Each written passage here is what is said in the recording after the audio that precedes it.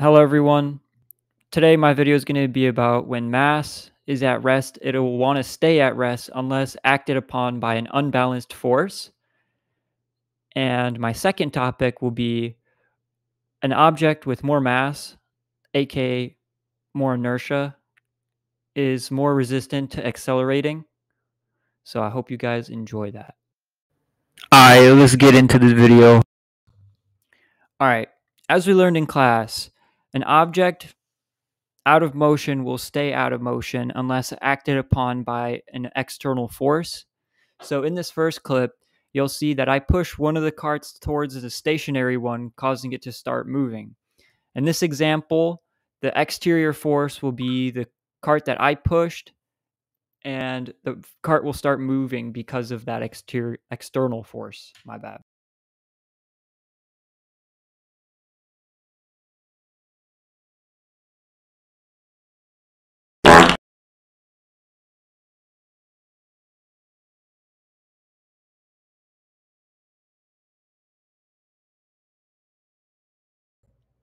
All right. In this next clip, I'll be demonstrating inertia.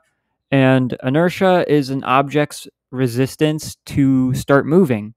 So to show this, I put weights on one of the carts, thus causing it to have more inertia. And I'll be pushing another cart that has no weights on it. And we'll see the effect.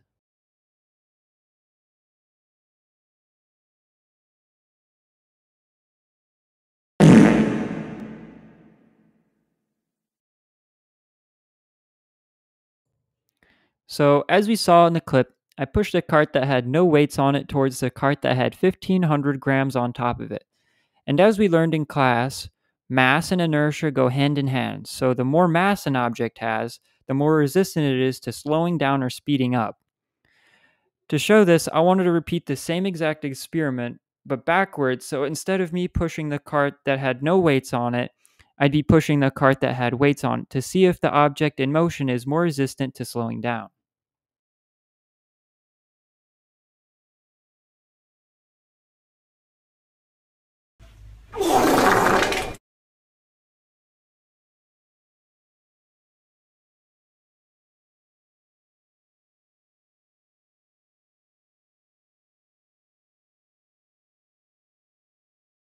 Wow.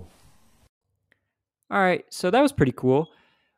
I, we saw that an object with more inertia is also resistant to slowing down and also speeding up.